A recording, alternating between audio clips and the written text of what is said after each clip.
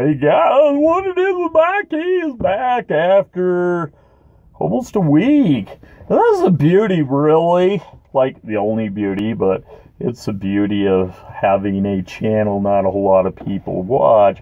You're not set to a freaking schedule. You do videos whenever the crap you want to do, but that's what I do now. So anyway, today I am following an interesting new format. It may be the only day I'll do this, but today I'm doing this. What I'm doing is I came with nothing prepared today to talk about. Today is open mind day. I'm just going to talk. I don't know what I'm going to say. That's what's going to be so fun about this experience. I'm just going to start talking about crap. So with that in mind, I still don't know what I'm going to say. So, five, four, three, two, one, go. Let's see what's on Mikey's Braino today. So, I see a bus over there going over to another building. I'm at a um, tech center waiting for my son to get out of school. Got me thinking about when I used to take the bus when I was uh, early 20s used to take a bus to work every day. That was kind of before my mental illness really hit. I mean, I had anxiety, but it wasn't horrible. And I could actually like get on, wait, wait for a bus, sit on that bus for a good half hour, 40 minutes, go into work, work my day, get back on the bus, go out and wait, ride the bus all the way home. Now, these days, I would have a very difficult time doing that because of all the claustrophobic issues and all the anxieties and such that I have developed that are even worse than back then over my lifetime. That's why I don't ride the bus, I don't take the train because I am too petrified of them now. Very interesting. I've been thinking a lot about that actually, taking that bus. I used to work during Christmas time at the mall. That's where I was going for my job. I've told you guys this, I think. I loved Christmas time at the mall. And taking the bus to work was just kind of like what I did, you know, like most people probably. I didn't really like think about it. I didn't get too upset. I went in and put my quarters in the thing or nickels, dimes, whatever the hell it was I put all that stuff in there and off I went and didn't think a second thought about it. And by the way, I'm very happy that that's the case. So, next thing comes to mind, for some reason, this is going to be fun. I came home from my church mission on December 4th. I'm coming up on that. You see, I think maybe why I was thinking about that is because I went right from the mall right to my mission and came back home right before Christmas two years later. So, yeah, so I'm coming up on my 20, I came home in 92, 26th year of being home from my mission.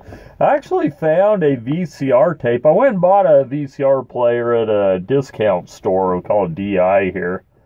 Um, it's kind of like a um, Savers or um, Goodwill type of store. I went and found a VCR player to replace my broken one.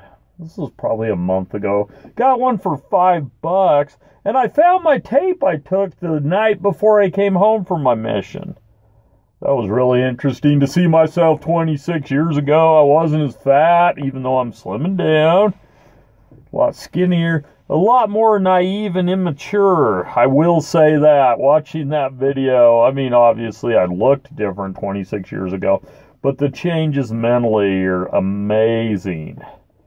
So I would advise you, if you can, go back and watch some old videos or watch some old camcorder material if you're old like me. Go back and watch some old VCR. See, when I was on my mission, when I filmed that tape, we had a big A VCR camcorder. The the camera I used was so big and heavy. It took a full size VCR tape. Some of you may not even know what a VCR tape is, but you know, plastic tape about so big that would actually fit into the machine and recorded right on the player. The thing was like serious, like this big and fat, giant microphone on the end of it, very heavy to carry. Oh, how times have changed. So anyway, yeah, I was watching that. I'll watch it again on my 26th the anniversary day. My mission president died. The guy who was running my little church mission died this year, so maybe it'll bring on a little more significance. Very interesting. My next thought. Yeah, that's kind of fun. I just grabbed my chest, if you notice, with my left hand. When I feel my blood pressure is getting kind of high, for whatever reason, I tend to rub my chest right there like it's going to make it feel better or something. The last couple days, I have felt like my blood pressure's high again. Um, kind of sucks because like I had been feeling really good until like really good until the last couple days. Well, for a couple weeks, you know, before all the changes with the new guy and all. But like, but I actually felt real. So anyway, um, just finishing that thought. Let me know if you have any weird things you do like that. Like rubbing my chest is probably not going to like help my blood pressure, but for some reason I just do it. So let me know if you have any weird quirks out there of things that you might do like that or rubbing your stomach when you got a stomach ache. I guess that's a pretty standard one. So another thing happened last night eating pizza. The pizza got stuck in my throat and it was hard to swallow and I thought of something that Cog was telling me. You can tell me, Cog, what's that thing called? Because you get them too, I guess. Where you swallow and it really hurts when it's going down.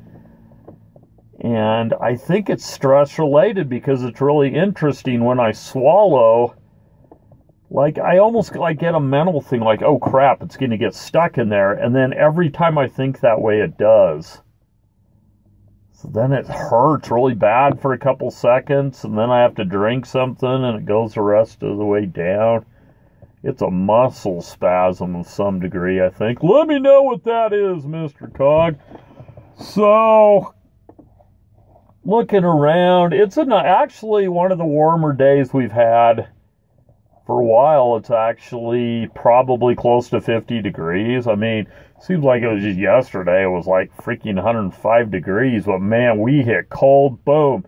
When that hurricane blew through, um, south of us mostly, but some of the rain and stuff came up here. We've been, that's been a good month at least. We have been in a cold pattern, it seems like, ever since. So anyway, pretty nice sunny day today. Um, it's interesting how the the sun moves further further to the south and we get less and less light obviously the angles of the reflections and stuff. So the next topic because i'm just shooting about there halloween. Have any of you noticed that less tricking and treating is going on these days? I hear that it is a thing now to go to parties instead of trick or treating and that this stupid trunk or treat crap. Interesting thing about people going to parties more now than trick or treating is that's kind of how trick or that's kind of how Halloween in America started. It actually was mostly, and I know if you've watched my history of Halloween video, which a couple people did, it talks about how Halloween started mostly with parties. It wasn't a whole lot of trick or treating going down, it was a lot of parties for older people. And that seems to be becoming the case again. Um, a lot of people, I guess, are doing parties took the kids out. My area, not a whole lot of people at all went around, and I've been hearing in a lot of areas that less and less kids are trick or treating, which really sucks. I mean, let's be real.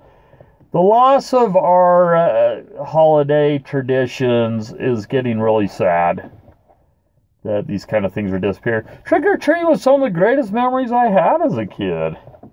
Okay, so the next thought I have real quick. I went into a place called Spirit Halloween a couple weeks ago and almost passed out while looking at the Michael Myers figure, but don't really want to talk a lot about that. I want to talk about one of the costumes I found at Spirit Halloween. I actually found a costume that was the greatest costume I've ever seen. I don't know if I'm being serious or not. You see, the costume was called Skella Boner. That's right, it was a costume of a skeleton. They had a freaking dick you can inflate to become a boner. And I'm not lying. It was called Skella Boner. So I should have got some video of it. I think I was too worried about passing out because that whole time there I thought I was going to go, woo, down to the ground. All right, guys, with the skeleton I am out of time for the day. I'm going to wrap this up. I hope you're all good. Please leave comments, likes, sub if you haven't. Let me know about some of today's topics and what you think of the idea. All right, ciao.